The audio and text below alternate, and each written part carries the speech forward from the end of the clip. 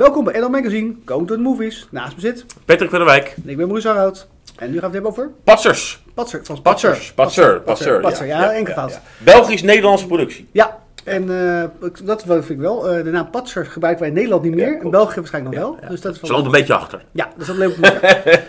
Ehm, Het was wel een leuke film voor Nederlandse standaard, Ja, ik. zeker weten. We, het was, ehm, we hebben wel gelachen. Ja, en, Het was een beetje, vond jij niet een beetje eh, vorig jaar? Ja. Low budget stuntman? Ja, wat Ah, harder- low budget. Ja, er werden harde- harde harde taal, humor. harde Dus praat, ja. harde humor. eh, ja. ja, En ehm, het is ook interessant, die twee regisseurs, die worden ook nog een beetje in Hollywood genoemd. ja. Anders zijn dat Door? Bad Boys. Bad Boys, Bad En Boys. Murphy had ook iets. Dus dat zijn we Ja. weer, eh, ja, allemaal. Ja, Dus ja. je ziet wel dat ze het, eh, voor Nederlands begrippen gaan ze, zijn ze verder. Dat Zijn ze verder, ja. ja. Zijn twee up-and-comers. Ja. Zijn het. Ja. En ik vond Ali B wel aardig spelen. Ik ben geen fan Ja, van die jongen. Ik ook niet, maar, hij ik vond deed, wel ja, spelen, hij deed het Ja. heel Ja. realistisch. Ja. En eh, die, Hij ra- deed heel realistisch. ja. Ja. En die, eh, die radio, die, die radio DJ, DJ die erin voorkwam. Ja. eh, ik heb weer zijn naam kwijt.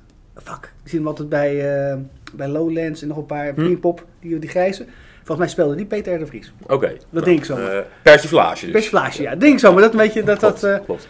Nou, voor de rest, ja, gewoon, het gaat natuurlijk wel over criminaliteit. Het gaat zeker ook criminaliteit. Ja. Harde criminaliteit. Hard- de, ja. harde, de harde onderwereld van eh, Amsterdam en Antwerpen. Ja, dat is De harde kookwereld. Ja, de regisseurs zeiden ook dat het gedeels op waarheid geïnspireerd is. Deels. Nou, ik geloof ook best dat het deels zo gaat. Ja, dus dat, eh, Niet alles, maar wel deels. Want het waren een paar amateurs eh, Dat die, eh, die de grote harde jongens wouden spelen. Die de mazzel gehad dat ze er eh, levend uitkwamen. Ja, Want als eh, Ali B, die was wel een, die speelde wel een eh, keiharde keiharde crimineel, zullen we maar zeggen. Ja. Ja, en dan die, de- zeg maar, de hoofdrolspeler. eh, hij, is, hij, is, hij is echt van Italiaanse achtergrond, dacht ik.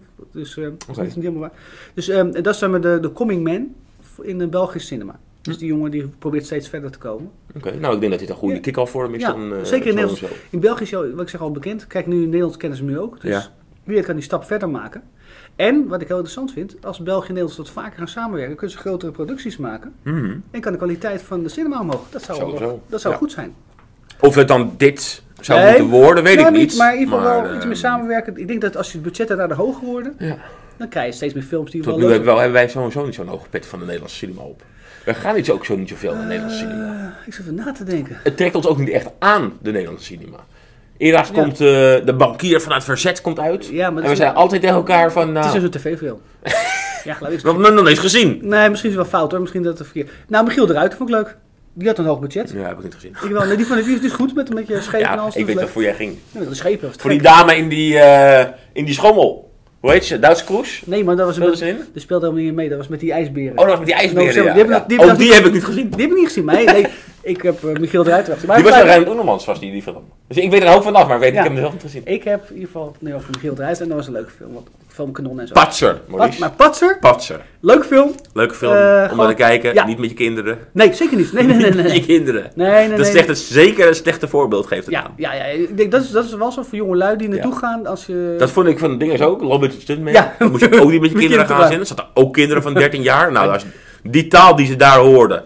Ik heb een hoop geleerd op het schoolplein. Ja. Maar die taal die ik daar hoorde, daar kon ik nog wat van leren. Hoor. Ik vond Low Budget Man groffer. Die was schoffer, ja. Ja, deze hier is gewoon dit meer dit is- straattaal. ik vind dit ook erg eh, op stereotypes eh, ja, ingespeeld. dat wel, maar dat was dat is blijkbaar Dat is ook de dat, dat is zo de straattaal die ook staat. Ja, goed. Ook. Maar, niet- maar zien, we, zien, we, zien we het ook zo, zou ik maar zeggen? Dat het, ja. Ja, blijkbaar. eh, ik bedoel, Ik dus- vind het een film waar niet, daar hoeft niet, dat hoeft niet als voorbeeld te zijn voor iedereen. Nee, nee, maar dat vind ik ook niet. Dat is niet de insteek van deze film. Ik vind Nee. het is een leuke film die gewoon. Ja, staat. Je kan hem lachen. Ja, Je kan hem lachen. ja, het is een leuke momenten. Dus ehm, op die noot, Ja. wat voor cijfer krijgt hij? Hij krijgt van mij, een, eh, omdat ik geef iets meer dan buitenlandse film. Ik geef hem een 7,5. Ik geef hem een 7 min.